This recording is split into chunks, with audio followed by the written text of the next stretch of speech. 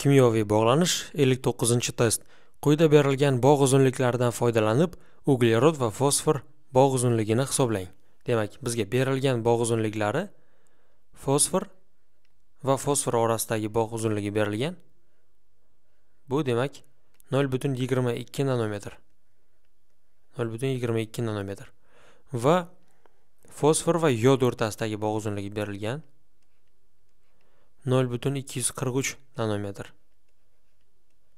0.243 va e, uglerod va yod o'rtasidagi bog' uzunligi berilgan 0.21 nanometr. 0.21 nanometr. Endi topishimiz kerak bo'lgan bog' uzunligi uglerod va fosfor o'rtasidagi bog' uzunligini topishimiz kerak. Bog' uzunligi bu nima? Agar ikkita atom bo'ladigan bo'lsa, ikkita atom o'zaro qoplanishi natijasida o'zaro qoplanish natijasida bog'lanadi. Endi bu yerda atom radiuslarini yig'indisi bog' uzunligiga teng bo'ladimi? Ya'ni e, bog' uzunligi bu bitta atomni yadrosidan ikkinchi atomni yadrosigacha bo'lgan masofa. Mana shu bog' uzunligi. Endi aytaylik e, bu yerda fosforni radiusi bu yerda esa uglerodni atom radiusi. Ikkalasini atom radiuslarini qo'shib qo'ysam bog'uzirlik kelib chiqmaydi. Undan ozgina kattaroq qiymat chiqadi. Nima sababdan? Chunki mana bu yerda atomlar o'zaro bir birini qoplayapti.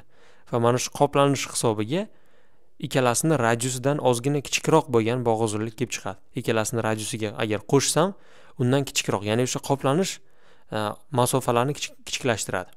Tasavvur qiling mana ikkita shar bor. Ularni bir biriga tekkizib qo'yadigan bo'lsangiz sharni markazlaridan o'tadigan to'g'ri chiziqni uzunligi qanday bo'ladi? Demak ularni radiuslarini yig'indisiga teng masalan aytaylik radius birinchisiniki radius ikkinchisiniki ikkalasini qo'shsangiz mana bu uzunlikni beradi. Aytaylik bu yerda chiqadigan bo'lsa x bu yerda uzunlikka teng bo'ladi. Lekin bu yerda sharlar bir birini ichiga kirib ketgan ozgina. Ya'ni qoplangan. Ya'ni bir biriga yonma yon bunaqa tegib turgani yo'qda. Mana bunaqa kirib ketgan ozgina bir birini ichiga mana shu hisobiga demak bundan ozgina kichikroq bo'lgan qiymat kelib chiqadi. Endi bu yerda radiuslarni ishlatolmasligimiz sababi shunda va bu uchun e, bog' uzunliklari uchun kovalent radius ishlatiladi. Kovalent radius bu mana shu qoplanishgacha bo'lgan joy. Ya'ni agar mana shuni shuni ikkiga bo'ladigan bo'lsak mana shu yerdan o'rtasidan bo'ladigan bo'lsak mana shu yergacha bo'lgan masofa qoplanishgacha bo'lgan masofa aytaylik. Kattaroq qilib chizadigan bo'lsak bu ko'rinadi. Masalan mana shunday bo'ladigan bo'lsa mana bu chiziq mana bu chiziq qoplanishni markazi aytaylik.